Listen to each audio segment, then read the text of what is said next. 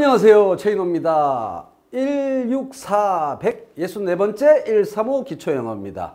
오늘은 feel을 두 번째로 공부하는 시간입니다. 지난 시간에는 feel 주제가 뭐였어요? 남양 특집. 가위 눌림에 대한 얘기를 했었죠. 오늘은 이게 다 능동태 문장이었습니다. 오늘은 수동태 문장으로 넘어가고 문법적인 주제는 능동태에서 수동태로 넘어가고 내용적 주제는 남양 특집에서 지진 특집으로 넘어가겠습니다. 요즘 우리나라에서도 심심찮게 어, 경주 등지에서 지진이 일어나고 있지 않습니까? 지진이 일어났을 때 특징적인 현상은 어, 저도 느꼈었는데 아니 건물이 흔들리다니 집이 흔들리는 것을 느꼈다. 자, 이걸 능동태로 해볼게요. I felt. 쉽죠? 뭐를, 집을, 집을 느꼈다. 말도 안 되는 영어고, 집이 어떻게 되는가?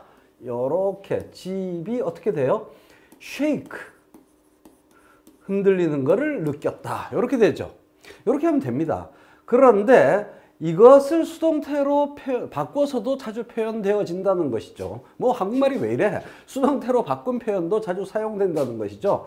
그래서 the house가 주어가 되면 the house was 요게 요게 요게 BPP가 돼서 was felt 자 그러면 see나 hear 때와 똑같습니다. 수동태가 될 때 어떻게 지각동사의 수동태가 되면 여기에 능동태에서 없었던 여기 to 없잖아요 이 자리에. 그런데 여기는 to가 생기죠. 그래서 이렇게 바뀐다는 거.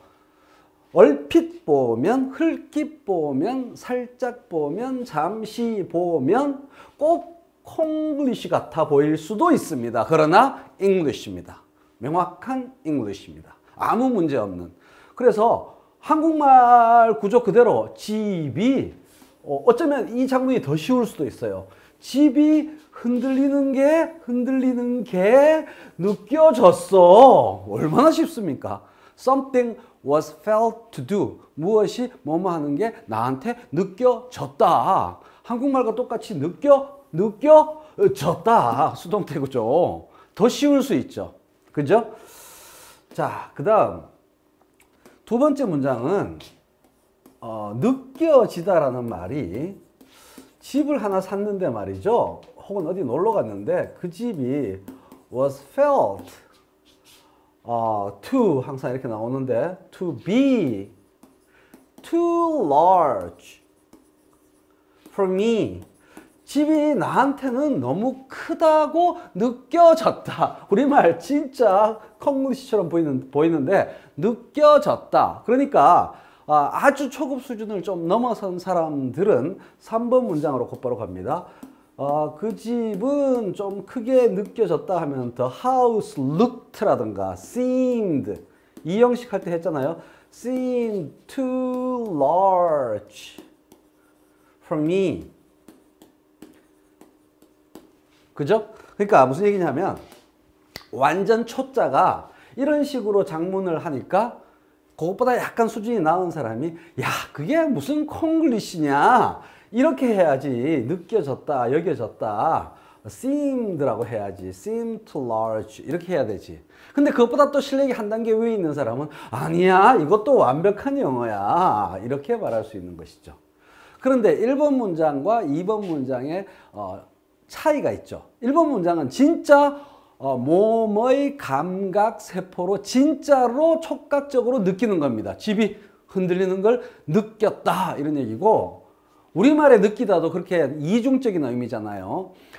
비유적인 의미로 느, 여겨지다, 생각되어지다, 확실한 판단은 아니지만 대략 그러한 생각이 들다라는 뜻에서 느껴진다. I feel that he's crazy. 아, 요, 즘에 she로 해야죠. I feel that she's crazy. 그녀는 미친 것 같다라고 내가 느낀다라는 그 판단하다에 느끼다 있지 않습니까? 그것도 똑같이 지각 동사로 되어서 the house was 그러니까 이게 뭡니까? thought think의 과거 분사 thought와 똑같은 겁니다. The house was thought to be too large for me.